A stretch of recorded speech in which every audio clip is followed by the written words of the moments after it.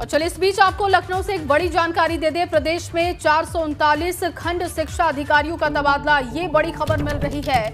और जिस दिन लगी आचार संहिता, उसी दिन जारी किया गया था तबादले का आदेश। चार सौ उनतालीस खंड शिक्षा अधिकारियों को दूसरे जिलों में भेजा गया। बीईओ संघ का आरोप है, आचार संहिता का उल्लंघन किया गया।